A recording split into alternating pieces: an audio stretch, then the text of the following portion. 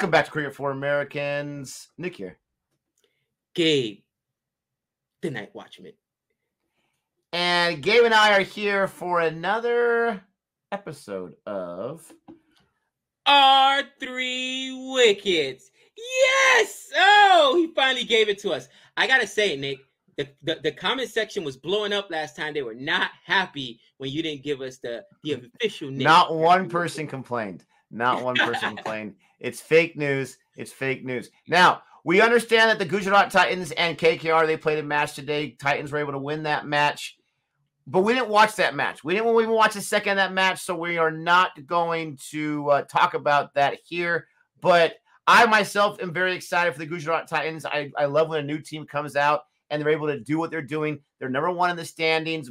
Gabe and I both didn't believe in them, so that's on both of us. But I'm still very excited for them, and I'm also excited that Gabe's mistress lost once again. Even though Russell lost his mind with his his half century and his four wickets and the only over they gave him, will you let let Russell loose, please? Hashtag But, free, uh, hashtag free Russell. Nick, it's so disappointing. Absolutely. But let us know. You can still comment below on that match what your favorite things were about that. Hardik Pandya is a monster. He's one of the best players in the IPL right now, no doubt. But there's quite a few best players in the IPL right now. He is definitely one of them. But we're talking about the debacle, the embarrassment, the thing that should have never been seen by eyes, and that's RCB losing terribly to SRH. It uh, it was a situation where Gabe started the stream before me. I told him I'm going to sleep in just a little bit. I slept in like 45 minutes once after the match started. I woke up. I couldn't believe what was going on. I mean, I could as an RCB fan, but I couldn't believe that it was happening today. And that, I mean, I guess we have to say it, Gabe. I guess we have to say SRH is for real. Oh gosh, no. Oh, we can't. Not like this, gosh. Nick. Not, oh gosh, why, why, why? Oh, You can't. It hurts to say SRH is for real because we trashed them. Okay, Nick, to your point, we trashed them. But you know who else trashed them? Every single cricket expert and pundit out there. At the auction, what are they doing? They let go of the great David Warner. They let go of Jonny Bairstow. They they only retained Kane Williamson and Abhishek Sharma. Uh, looks like they knew what they were doing. Looks like they know what they were doing. And just saying, we get a lot of uh, uh, uh, uh, flack for getting calls wrong. A lot of people got uh, uh, calls wrong, including Harsha Bhogle and his people. Uh, I'm just saying. Um, yeah, that's right. I'm throwing salt on it. It, it wasn't just us. But yes, Nick, we called them the wooden spoon. We said they'd be battling for the wooden spoon this year, bottom feeders. Guess what? We were wrong. We were wrong, wrong, wrong, wrong, wrong. And listen, since. RCB's your team, I'm gonna go ahead and jump right into what I like. What did I like? Nick, Abhishek Sharma. They chose to retain this guy. I saw him play and I did not think he was that good. And I was like, maybe They get- retained him? uh, they retained him. I'm pretty sure they retained Abhishek Sharma, unless did he come from KKR? No, they retained him because I remember that was a big thing. They only retained um Kane Williamson and I want to say Abhishek Sharma. They let everybody else go. Maybe uh what was it? Uh see now you got me some second judging myself. Uh, I hate you. But anyways, I'm sure you'll correct me if I'm wrong. Uh, any which way, I'm like, this kid Abhishek Sharma has done this multiple times this year. He is their leading scorer, not Kane Williamson. And you got to say, he's for real. He's for real. All right. And 47 on 28, 167 strike rate. He was not wasting time. Unfortunately, he did not get the half century, but this is about his third or fourth big game this season. And I got to say, I am impressed with Abhishek Sharma. Uh, he's a young guy, too, 21 years old. He's got Similac on his breath, bro. Listen, if he were in Vegas and he tried to go to the casino to gamble, that dude's getting carded, cousin. And yo, the kids can play. The kid can play. Um, he's already got a 50. Uh, I want to say this year for uh, it, it, it's impressive. It's impressive what he's done. And so far, let's see. Where does he stand, Abhishek Sharma, in run scores for the whole IPL this season? Um, I'm, I'm sure Nick, you could give me those stats. I was trying to find it myself, but I'm not as. Yeah, I'll look it up right are. now for you.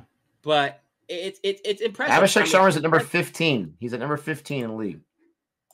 and nobody knew who this kid was other than SRH, obviously. And you got to tip your hat to him. But with that being said, How have they now gone to five and what is it? Five and two, Nick. Five and two, number two in the point standings. If they've only and they lost the first two, Sharma, and they've only they lost they've the first two. Nick, it's because of their bowling. It's because of their bowling. Can we talk about Malik for a second? Malik is he's a savage. All right. Malik to me is Umar Malik is probably the equivalent of who's got crazy pace in like England and Australia, but that's not had that many chances either because of injury. It just doesn't get in. I mean, maybe like a Mitchell Starc. I mean, guys that just throw gas, bro. Gas today. Four overs, 13 runs, one wicket, a 320 economy rate. He is absolutely filthy. And the question was being asked: Do you think he's going to make the T20 squad? Uh, uh, is he going to go to Australia? Yes, he should definitely go to Australia with his pace on those bouncy pitches. Absolutely. Absolutely. I love Umar Malik. I love their bowling. They might have the best he's, bowling in the whole he's league. Fantastic. He's fantastic. You know, yeah, they, they have Bhuvi, really good bowling. Bhuvi, who I remember clowning because Bhuvi couldn't take any wickets. He hadn't in a while, by the way. Oh, but he shut me up this year. Another uh uh another season I mean, another game, only 2.3, uh, uh, two and a third over, but eight runs and a wicket. You got Marco Jansen, the uh, the uh, South African three wicket haul, Natarajan with a three wicket haul. This bowling attack is filthy. This bowling attack and Gujarat Titans bowling attack is absolutely filthy. And they're the two teams that are, by the way, in the standings one and two, and they're doing it with bowling, which, by the way, goes back to my argument that bowling is more important than batting in cricket, especially in Test cricket. You got not Test. I'm sorry, in uh, T20 cricket, you got to have those bowlers. You do, but that's what I like. Nick, what did you like? RCB, anything, any bright spots at all, or maybe you like something on the SRH side. Go for it. There's no bright spots whatsoever in a game where you score 68 runs. And then when you get bowled out in the 17th over, at least you made it to the death. That's great. You get bowled out in the 17th over, and the other side chases you in eight overs, losing only one wicket. But I'll try to be positive here. Harshal Patel got a wicket. Like seeing that. And Prabhudessai was a top scorer for RCB. I think he got 34 the last match or something like that. So it's nice to see him being able to score a little bit of runs. Um, recently, he was a top scorer with 15. It's all really, really bad.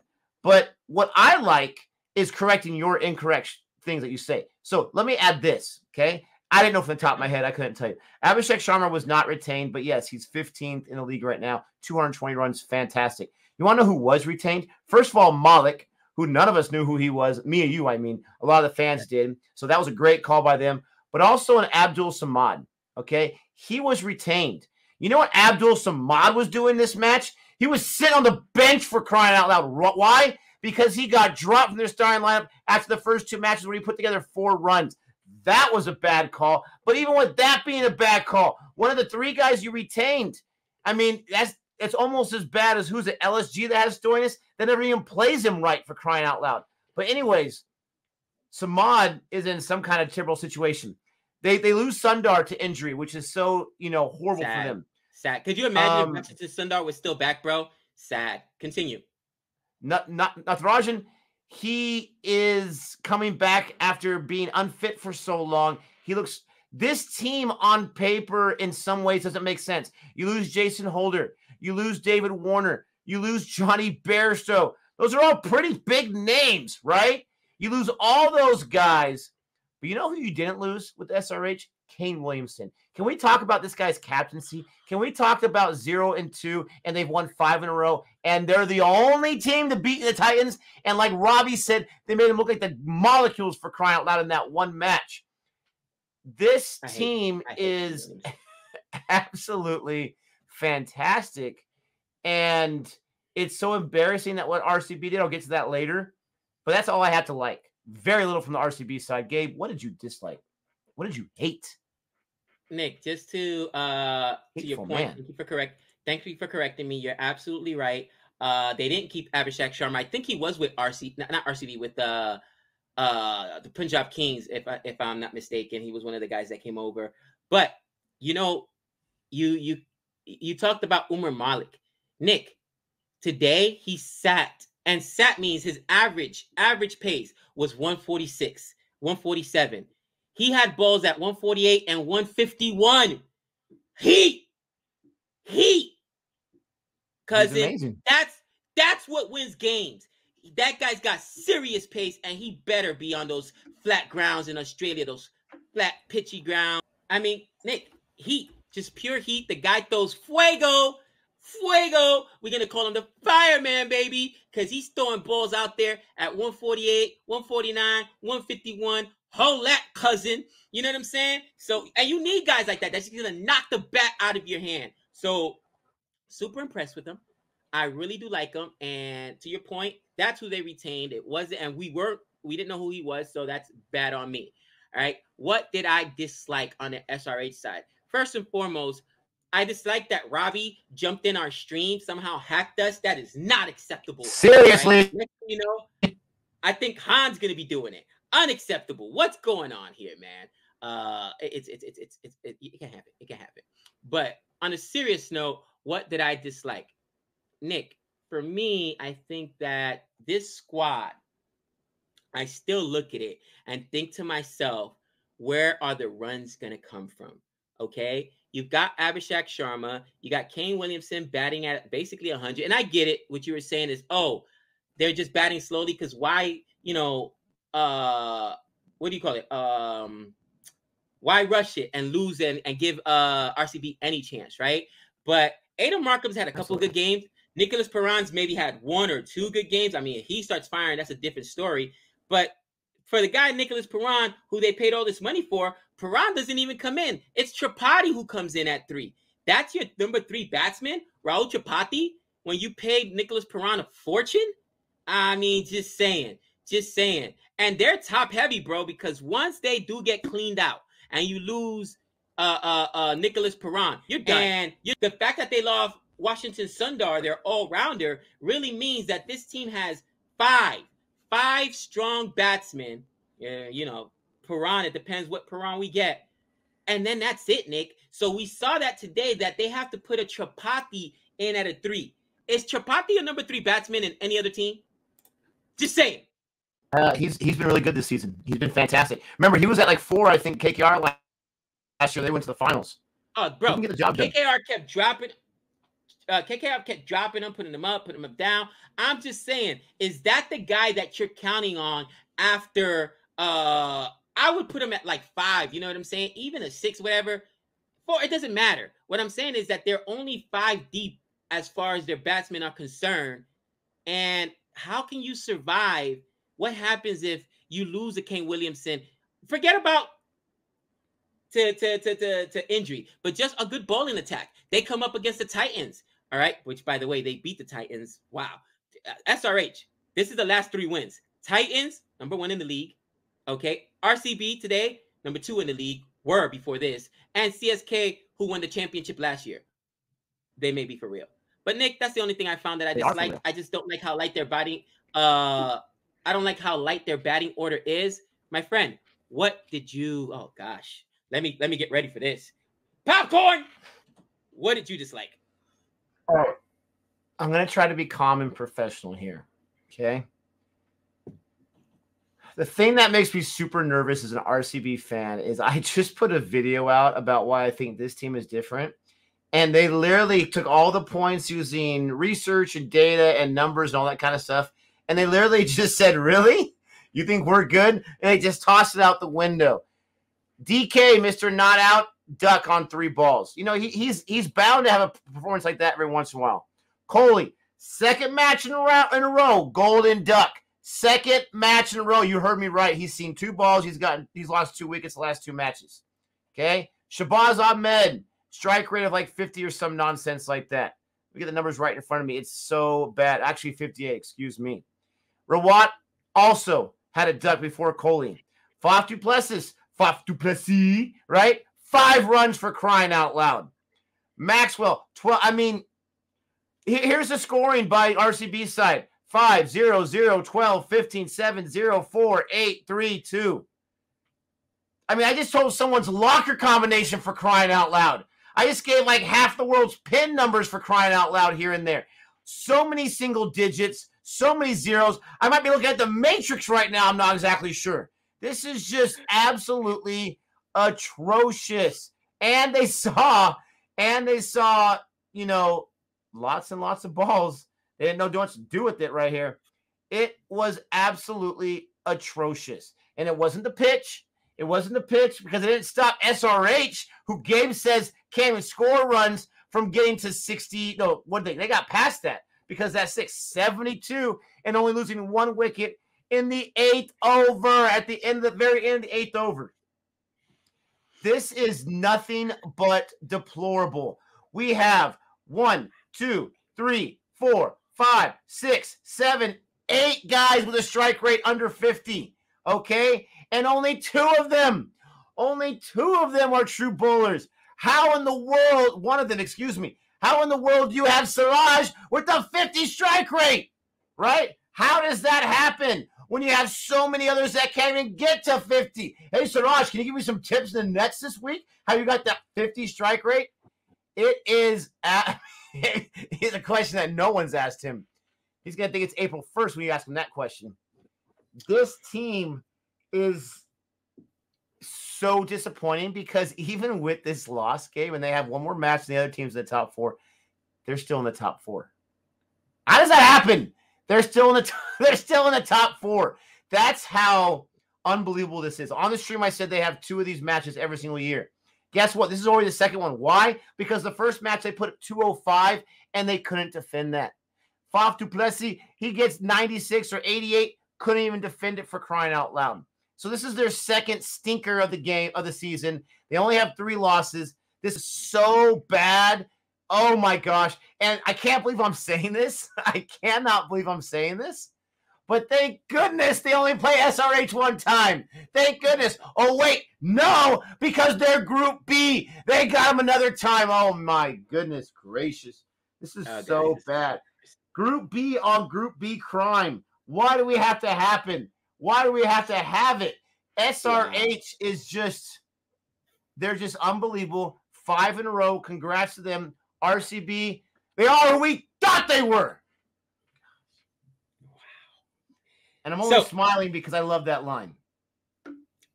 I got to say, what did I learn? Nick, very simple.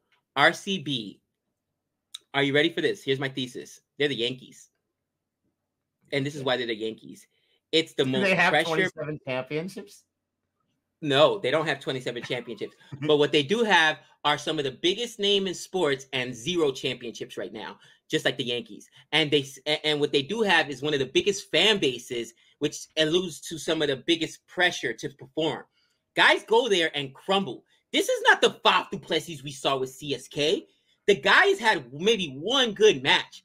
This is like like I think guys come here where careers go to die. They've had the universe boss. They've had Virat Kohli. They KRO, everyone. Think about who's been on the scene. AB de Villiers and cannot win a championship, Nick. I think this is pressure packed. And to your point, Chahal was here and he was always a low economy guy, but he gets out out of RCB. He's a leading wicket taker in the IPL this year, leading for the uh, uh, uh, uh sorry, leading for the purple cap. Nick, that's what they that's what it is. RCB is probably got the most pressure on them to win and they've got one of the biggest fan bases. They're the Yankees.